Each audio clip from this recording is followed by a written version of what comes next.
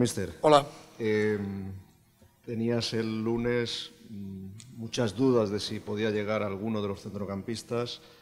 Parece que Ramón Folk va a llegar a tiempo y podría solucionarte la mitad del, del problema. Sí, sí, sí. Parece que Ramón puede llegar. Eh, sabemos el riesgo que corremos con ello, pero eh, es momento de, de valorar estos temas, de ponerle la balanza y de tomar decisiones. Y Ramón parece que puede llegar, así que si llega, pues estaremos todos contentos, porque al final, luego que juegue o no juegue, será decisión del míster, pero en estos momentos necesitamos ese tipo de jugadores. Buenos días, mister. Hola. ¿Contempla la opción de poder meter en el centro del campo a, a Iván Sánchez para, para paliar las, las bajas? Claro, con- contemplamos varias opciones. Podemos, tenemos la posibilidad de meter a, a Gonzalo también ahí dentro, a Verdú. Tenemos la posibilidad de poner a Johnny o a, Javi López. ¿Por qué no? Depende. Tenemos la posibilidad de los niños, eh, porque podemos aplicarlos de, gente muy fuerte a los lados. Valoramos absolutamente todas las opciones. Eh, en este partido se nos da esta circunstancia de todas las opciones que podemos manejar y que al final solo el resultado nos va a decir si acertamos, ¿verdad? Se va a valorar lo, lo conseguido. No vamos a estar valorando lo merecido de este partido. Vamos a valorar lo conseguido. Y si acertamos eh, y, ganamos con, los que, con la decisión que tomamos, que tenemos un montón de alternativas a todo esto, el míster es un fenómeno.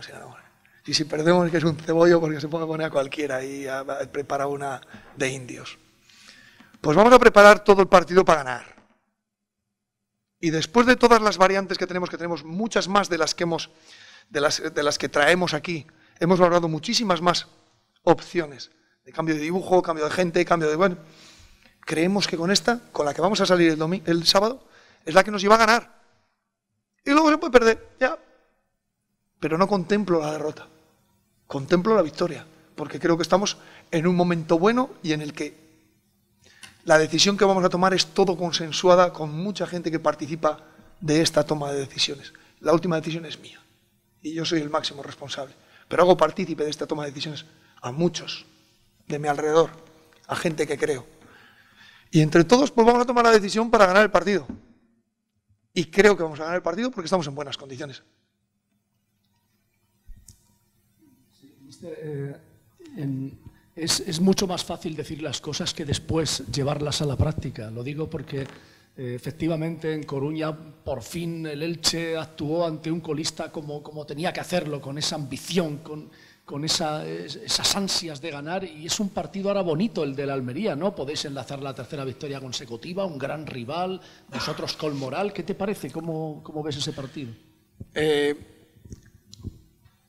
la primera parte eh, de la pregunta, José, me gusta, creo que el equipo ha estado con muchísima ambición muchos de los días, no solo en Coruña, en Coruña ganamos, pero hemos estado con mucha ambición en muchos días, lo que pasa es que ha habido, yo recuerdo ahora dos partidos, sobre todo fuera de casa, en los que el rival ha sido mejor que nosotros. Y eso tenemos que entenderlo también, que el rival puede estar mejor y que puede hacer las cosas mejor que tú y que ese día puede ser mejor que tú. Eh, Eso hay que admitirlo. Pero el equipo, tenemos un grupo de jugadores poco quejicas ante un montón de situaciones que pasan. Gente que, que somos humildes dentro de esta categoría, pero que se están haciendo muy grandes y que estamos consiguiendo cosas muy, muy, muy, muy grandes con este grupo. Es un grupo que no, no merece demasiado palo, no, porque son honestos, porque entrenan bien, porque intentan, lo intentan todos los días. Entonces, no, no, no, no, somos un grupo estupendo, pero claro que nos, nos llena joder, de, de, de emoción lo que, lo que estamos haciendo. Y que hemos ido a Coruña y dices, no, no, 38 años sin ganar en Coruña. Em, que no es fácil ganar en Coruña. No es fácil ganar en Girona. Y este equipo pues, está ganando en campos muy, muy, muy complicados. Ni en Oviedo, ¿eh? No es fácil. Y estamos ganando. Hemos conseguido más victorias ya que en, todo el año pasado, el doble de que el año pasado. Entonces, somos un equipo que estamos creciendo, que vamos despacito con nuestros objetivos, que vamos creciendo mucho y que claro que queremos enganchar esa victoria aquí, porque nos dispara, porque tendríamos la mitad prácticamente matemática conseguida. Estamos a 8 del descenso. Vamos a ver si podemos ampliar esa, esa diferencia para luego tener margen cuando vengan épocas de crisis o más duras.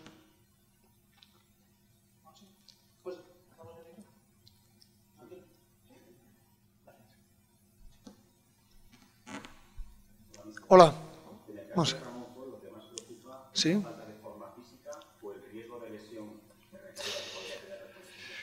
Claro. Eh, lo que más me preocupa es la, recaída. El que esté mejor o peor, él, es un jugador ya veterano que es capaz de medir esos tiempos. Lo que no podemos medir es la resistencia que va a tener ese músculo em, a ese esfuerzo continuado. Eso es más difícil de medir, lo podemos medir de alguna manera. Sabemos que hay unas semanas después de esa recuperación en la que el músculo todavía eh, en esa ida y vuelta no es tan rápido ni tan constante con, que con el músculo sano, pero mm, creo que él puede regularse y demás, y luego vamos a ver, si no aguanta todo el partido, pues entonces habrá que tomar decisiones de cambiarle y poner a otro. Y vamos a ver si al final es esa decisión de Ramón, que si él está bien, pues tiene muchas posibilidades de jugar, claro que sí, porque es un medio centro que, a nosotros nos hace mejores y estamos en ello.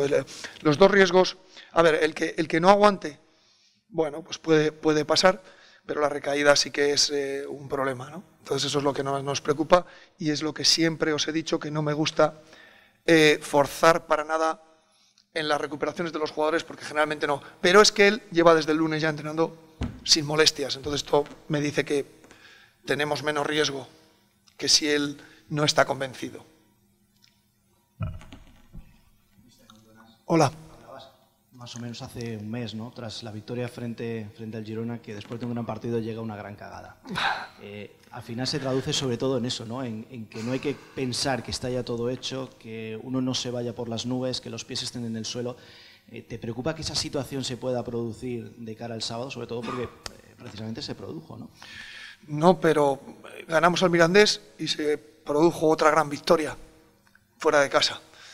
Entonces a veces pasa esto, pero cuando has empezado con la pregunta diciendo esto, parece que habías escuchado la, charla que he dado esta mañana, porque hemos insistido mucho en eso. Hemos insistido en que no, no, que lo único que nos trae aquí y lo único que nos da alegrías es cuando estamos concentrados y estamos con todos los sentidos en el proceso, en ese camino, en esos entrenamientos, en, lo que nos lleva ahí, en estar atentos a, la información que damos, estar atentos a los vídeos, estar atentos a, a los errores, corregir esos errores. Eso es lo que nos lleva a pasar estas semanas más agradables que cuando pierdes. Tenemos que focalizar en ese proceso, tenemos que focalizar ahí y luego tenemos que activarnos, tenemos que buscar ese nivel de activación óptimo de cara a la competición. Cuando somos un equipo que estamos activados, somos un equipo jodido, un equipo duro, un equipo que comete pocos errores. Llevamos en estos momentos, comparado con la liga anterior, creo que llevamos siete puntos más. El año pasado a estas alturas creo que llevábamos menos ocho de dígito de, goles a favor y goles en contra. Este año llevamos dos, más dos. Es fantástico. Somos eh, equipo, necesitamos mucho menos para hacer gol. Y eso nos convierte en un equipo, creo que todavía podemos mejorar en todos los aspectos, en ataque y en defensa, con balón, sin balón, en las áreas, pero creo que defendemos, que estamos defendiendo bien, concentrados, nos hacen goles. Pero estamos siendo un equipo ahora, cada vez somos más alegres, somos más verticales, tenemos más situaciones de peligro claras, por eso nos pitan penaltis. Estamos llegando con gente a área, estamos llegando, los extremos están empezando a barrer segundo palo, están llegando. Nos estamos convirtiendo, yo creo que en un equipo mejor. Creo que estamos siendo mejores a medida que va pasando la liga. Estamos evolucionando. Hola, Carlos pregunta sobre las opciones que, que habías comentado antes. Sí. Hay muchas opciones, pero unas son, digamos, más conservadoras y otras arriesgadas, porque sacar a, a, los, a, los, chicos que has comentado, los chavales, es una opción arriesgada. De sí. Vista desde, desde fuera. Porque, claro, si se gana muy bien, pero si se pierde para ellos también puede ser un palo. Claro, pero puede ser el momento de ellos. Son chicos que están entrenando conmigo, y son chicos a los cuales respeta el vestuario. Tú para poner un jugador en el primer equipo a jugar, lo primero que tiene que tener es el respeto de los compañeros. Las alineaciones hay muchas veces que se hacen solas. ¿eh? El respeto que se gana el compañero, que se gana el respeto del compañero, él solo te dice que juegas. Ellos te dicen que juegues. Si no tienes ganado el respeto del compañero, aunque te ponga el mister, eh, el propio equipo no te admite. Lo primero que tiene que hacer es ganarse el respeto. Y los niños tienen ganado el respeto.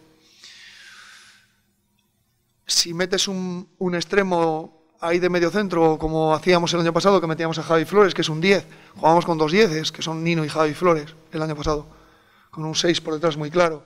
Pero había días que hemos jugado sin 6. Juego de Karina Zamun, que es un 8 más cerca a un 10 que a, un 8 o a un 6. Jugábamos con él y con Javi. con, pues, por eso adquiere ahora valor cuando yo os decía que al final, ¿con qué dibujo juegas? Pues juego dependiendo de qué jugadores tengo sanos, qué jugadores tengo en buen momento y qué jugadores son capaces de adaptarse a lo que tú solicitas de ese partido. al final juegas con jugadores que igual no son específicos de esa posición, pero por las circunstancias son los mejores para ese partido. Coño, y luego pierdes, ya, ya, pero hemos valorado absolutamente todo y hemos hecho el partido para ganar. Se prepara para ganar luego sale mal. Bueno, pero esto puede, pasar. Pero por eso a veces no sabes ni con qué dibujo juegas. Eh, ¿Por qué? Pues porque juego 4-1, 4-1. No, si luego se me alborotan y el rival me lleva a otros sitios y se me juntan y al final juego 4-4-2 o, 4-2-3-1 y al final em, casi juego con tres atrás y dos que tiran mucho y se me queda un lateral más que el otro pues depende del jugador que pones, eres un poco más ofensivo, es un poco más defensivo, tienes que valorar qué es el rival, si juega con un enganche o juega sin enganche, o juega con dos volantes o juega con dos medios centros. Todo esto es lo que valoramos para llegar a, a esa conclusión. Y la conclusión a la que llevamos es para ganar. Y lo preparamos para ganar todos los días. Pero hay días que sale el tiro por la culata. Pero lo preparamos para ganar. ¿Y puede ser el momento de los niños? Sí, pero ese momento intento que sea mucho más por decisión nuestra que por obligación. Y con eso creo que te estoy contestando a la pregunta. No, no me gusta forzar demasiado cuando yo todavía no veo eh, eso. Oscar ha sido una excepción. Él llegó y vimos que estaba dando un gran nivel entrenando y cuando empezó a competir vimos que la, el entrenamiento nos dio las muestras de que luego compitiendo podía ser lo mismo. Entonces, todo ese proceso es el que llevamos con el fútbol base, con todos los chicos que vienen. Intentar que participen en el equipo cuando el equipo puede estar bien y cuando ellos están muy bien.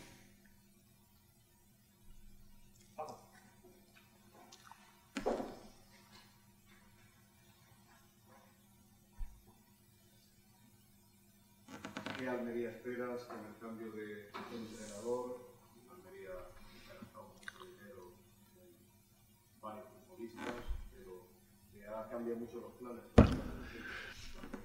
Siempre que hay un cambio de técnico, todo lo que has visto a nivel de movilidad, a nivel táctico, incluso a nivel estratégico, ¿no? de la, estrategia que preparan, que no hablo del balón parado, ¿eh? sino de la estrategia que ellos tienen de cara al partido, cambia, cambia. A nosotros en estos momentos de la Almería solo nos vale el partido contra el Zaragoza. Y se ven cambios, hay cosas que cambian. Y todo eso es lo que nosotros tenemos que tener previsto y lo que hemos intentado trabajar. El Almería es probable que sea el equipo que más dinero tiene metido en la plantilla, directamente en jugadores. Creo que puede ser el que más. Y además parece ser que según prensa, va a invertir otros 20 millones de euros ahora en, Navidades. Se habla de esas cantidades. Entonces, ¿qué vamos a hablar nosotros? Espero un partido en el que ellos son grandes futbolistas, es un buen equipo, un equipo muy fuerte, un equipo que es difícil de ganar, que solo ha perdido dos partidos, que ha ganado seis, creo que son seis. Un equipo muy, muy, muy duro, pero que creo que a nosotros y por lo que somos, le vamos a afrontar el partido. Nosotros vamos a ser valientes, como somos en casa. Da igual el rival que venga. Vamos a ser valientes como fuimos contra el Rayo. Vamos a ser valientes como fuimos contra el Mirandés y como fuimos contra el Sporting. Y hay días que salen bien y otros días salen mal. Unos días a medias, otros... Pero vamos a ser de ese tipo. Y nosotros cada vez empezamos a ser un equipo más peligroso. Porque cada vez empezamos a ser más verticales, eh, cada vez la estamos tirando más al espacio, cada vez somos más duros. Me gusta lo que veo. Me gusta. Entonces, voy a esperar un partido en el que ellos van a intentar ser protagonistas, en el que van a intentar tener el balón, en el que van a intentar ir por fuera en muchos momentos, que van a intentar contactar con, con Lazo, con Corpas. Pero ahí nosotros somos fuertes. Tenemos que intentar tapar esas virtudes que tienen ellos tenemos que intentar tapar la velocidad de Darwin. Bueno, tenemos, eh, y luego esas medias puntas eh, o esos volantes que hacen mucho daño. ¿no? Creo que lo tenemos preparado y nosotros vamos a ir a ganar. Este es el partido que espero.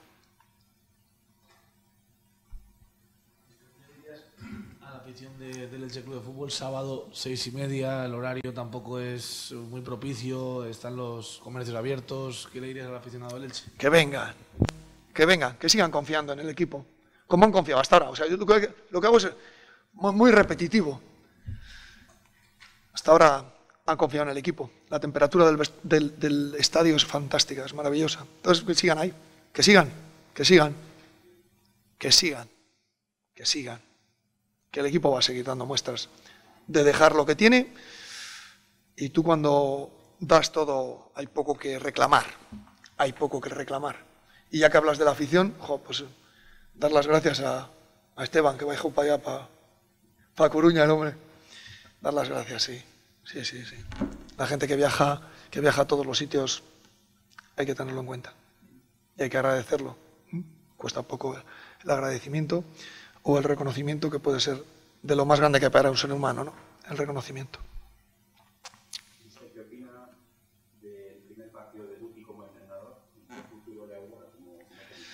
Pues el primer partido dio muestras de lo que yo creo que ellos pretenden, que es de ser un equipo de ataque con mucha sorpresa por fuera, con mucha alegría con balón, con mucho, mucha posesión. Y el futuro, yo no lo sé, no, no puedo prever lo que es. Como futbolista ha sido un futbolista excepcional, al que me tocó sufrir y al que puedo catalogar eso de futbolista genial y que la trayectoria como entrenador solo nos lo dice el número de años que luego entrenes y, cómo sean tus equipos y cómo seas capaz de adaptarte a todo esto. Entonces no, no, no soy capaz, no tengo datos como para poder valorar eso, pero sí que su primer partido que yo vi con Almería, he visto un equipo alegre, un equipo de ataque, un equipo con mucha fuerza y con mucha calidad. Es un buen, muy buen grupo de jugadores que se puede constituir en un gran equipo. Y una cuestión más. El ensayo que, que, ha venido realizando esta semana, concretamente ayer, con Pere Milla en la izquierda, contando que Pere Milla también podría ser una opción para la delantera junto con Nino. Claro. ¿Es simplemente una cuestión de entrenamiento puntual o realmente valora la posibilidad de que, actúe en el puesto de Fidel esta semana? Pere Milla es probablemente de todos los que tenemos de ataque el único que puede jugar y que creo que ha jugado en este momento, como, jugamos nosotros, en las cuatro posiciones de ataque. Ha jugado por la derecha, ha jugado por la izquierda, ha jugado de enganche y ha jugado de punta. Hemos tenido dos partidos en los que han jugado Peremilla y, y Nino. Entonces, eh, Peremilla es un jugador que a nosotros nos hace mucho mejores, porque aprieta a todos los de, a todos los de arriba. Juegue de inicio o esté en el banquillo. Peremilla es una alternativa que yo cuando tengo dificultades en una posición, Peremilla te la soluciona. Entonces, Peremilla a nosotros, juegue de inicio o no, nos hace mucho mejores. Y valoro, y por eso le voy cambiando los entrenamientos, en la izquierda, en la derecha, de enganche, de punta, le pongo donde yo creo que o necesita más tiempo para tenerlo, o donde creo que le puedo necesitar de cara al domingo, o donde, puedo creo, o donde creo que puede jugar más minutos en este equipo, dependiendo del nivel que tienen los otros. Porque cuando tengo a Iván y a Josán en la derecha, pues Peremilla lo va a tener más difícil para jugar en la derecha. Y si solo tengo a Fediel en la izquierda, en estos momentos, pues tengo más posibilidades de que pueda jugar en la izquierda. Entonces, mm, también puede jugar, jugar José en la izquierda, claro, que es donde mejor lo ha hecho y donde yo creo que al final José se, se siente más cómodo. Pero resulta que para el equipo, en estos momentos, José en la derecha nos da lo que no estábamos teniendo. Entonces, vamos jugando con ello. Pero Pere Milla nos hace mejores porque es un jugador que probablemente, pues eso, él a través de que de, su estado físico y de su aporte físico, a partir de ahí nos hace crecer mucho el equipo.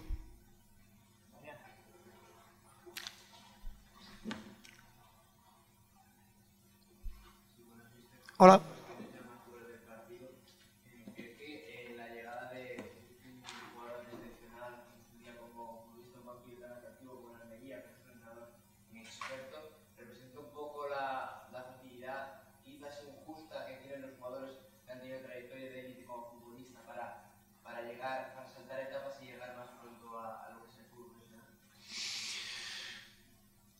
Es evidente que tenemos más facilidad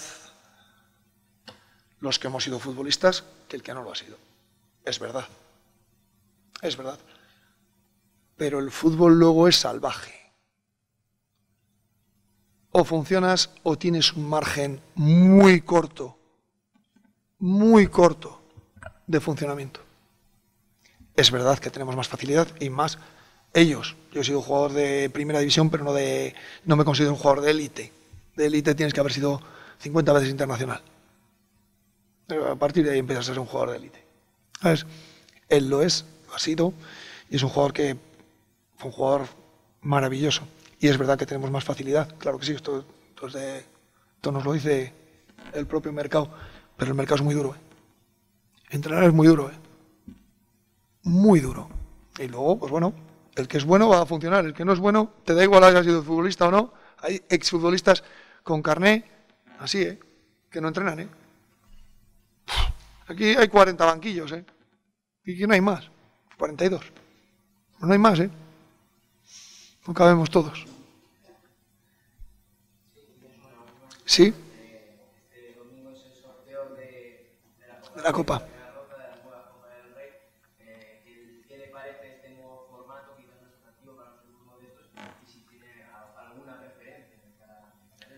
Que me toque cerquita. Que me toque cerquita. Esa es la preferencia que tengo. Yo la Copa del Rey, pues ya sabéis que soy, venga, una otra, yo soy ya partido único hasta el final. Partido único, yo. Porque eso sí que es atractivo, mucho más atractivo. ¿En el campo de quién? Si hay dos de diferente categoría, en el de más abajo. Ahora bien, condiciones mínimas para jugar. ¿Cuáles son las condiciones mínimas? Hay montones de ellas. Pero desde aquí, claro que yo reclamo en el fútbol profesional que los campos sean iguales. ¿Cómo era un campo que uno tiene 70 metros de ancho y otro de 66? Pero todo, ¿en qué cabeza cabe en el siglo XXI? ¿Qué cabeza cabe? Pero ¿cómo no jugamos en las mismas condiciones? Yo esto no lo entenderé nunca. Es que yo no puedo tener un campo de 68 metros de ancho. Pues usted no puede estar en el fútbol profesional. Pero ¿cómo voy a jugar en un campo de 105, otro, otro día en un campo de 101, otro, otro día en un campo de 70 metros de ancho y otro día en un campo de 66? ¿Pero en qué cabeza cabe? Y con esto, ahora ya me he ganado 500 enemigos. Pero si esto, a ver, esto, esto de perogrullo, joder. Esto es de normalidad. De normalidad una competición.